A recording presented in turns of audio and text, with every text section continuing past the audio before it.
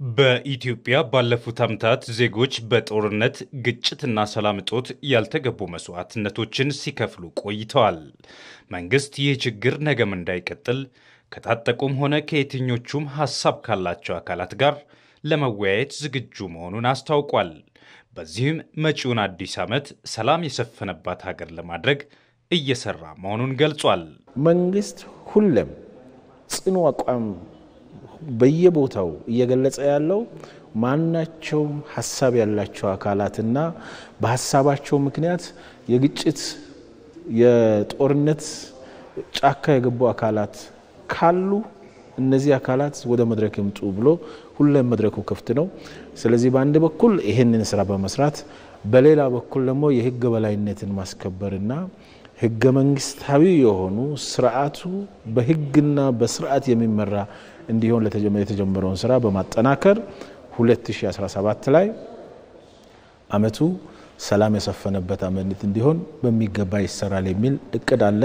እቅድ ብቻ ሳይሆን የተጀመሩ ስራዎች አሉ። ይሄ የሚጠናከርበት አመት ይሆንና ወሳኝ ምዕራፍ የሀገራዊ ምክክር ኮሚሽኑ ስለደረሰ ይሄ ከፍተኛ ለውጥና ያመጣል ብለን ተስፋ እናደርጋለን። የሀገር ሰላም የሁሉንም ተሳትፎ የሚጠይቅ በመሆኑ ለሀገር ሰላም ተፎካካሪ የፖለቲካ ፓርቲዎች በተለይ መሪው ፓርቲ በቁርጠኝነት ሊሰሩ እንደሚገባ የኢትዮጵያ የፖለቲካ ፓርቲዎች የጋራ ምክር ቤት ዋና ጸሐፊ ደስታ ጥላሁን አሳስበዋል። ሁሉም የፖለቲካ ኃይሎች ለሀገር ሰላም፣ ለደህንነት፣ ለእድገት ሁሉም በጋራ መስራት አለበት።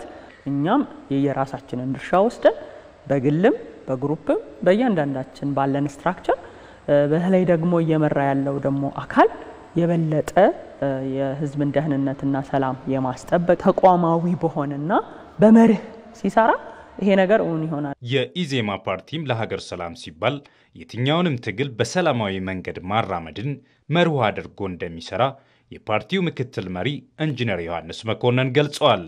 በምንም መንገድ ፓርቲያችን ኢዜማ አባላትና ደጋፊዎቹ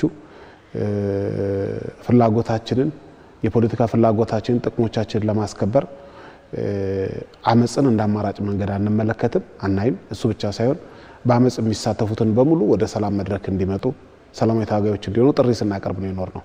ስለዚህ ቢያንስ የችግሩ አካል ባለመሆን ሰላምን ከሚያደፈርሱ ከማንኛውም አይነት እንቅስቃሴዎች የታቀብን መሆናችንና ሰላማዊ ታጋይ መሆናችን ለሰላሙ አበርክቷችን ነው።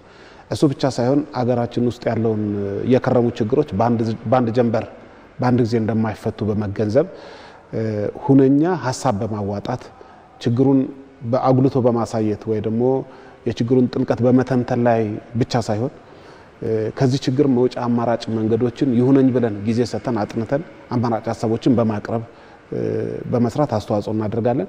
ያለፉ ቁርሾችን በይቅርታና በፍትህ ዘግቶ ቀጣዩን ዓመት የተሻለ ለማድረግም እየተሰራ መሆኑ ነው የተገለጸው። ያለፉት ጊዜያት ሁሉም እኔ ተበዳኝ ነኝ ብሎ ያምናል። በዚህም ምክንያት ሁሉም ቅሬታ አለው ወይ አብዛኛው ቅሬታ አለው።